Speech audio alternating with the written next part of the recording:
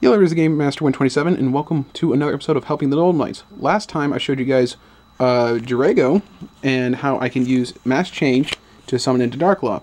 The thing with Mask Change is, again, it's just one of those things where it's like, it's really useful, it's, and it's, it's also, of course, it's really budget too, is with Dark Law, is, just with this combo, is, it's like, so it's like you can special summon Jirago, attack, Mask Change it, Dark Law, and then put in 24.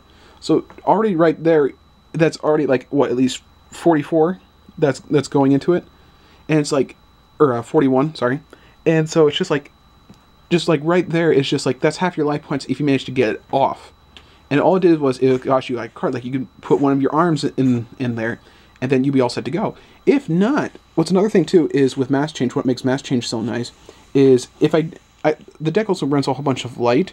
So if I didn't want to run just Dark Law, I, I can also run Koga. And so that's going to be it for, for me uh, in this episode of Helping the Noble Knights.